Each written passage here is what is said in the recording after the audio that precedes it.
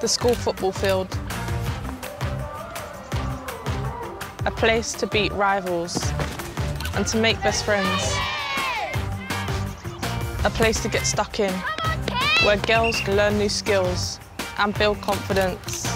This is more than just a pitch, it's a classroom.